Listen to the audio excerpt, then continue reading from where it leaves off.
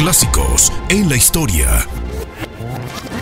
Marzo 23. En 1839, en Estados Unidos, se registra por primera vez el uso impreso del término OK como abreviatura de All Correct, atribuido a Charles Gordon Green, editor del periódico Boston Morning Post.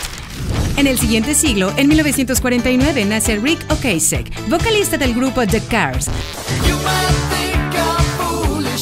Para 1968 llega al mundo Damon Albarn, cantante británico de Blur y Gorillaz.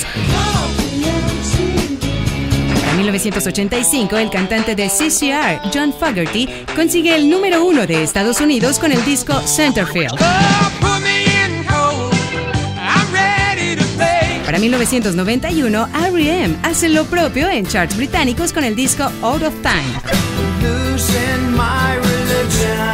Seis años después, en 1997, YouTube se posiciona en el primer lugar de la lista de álbumes más vendidos de Estados Unidos con su producción titulada Pop.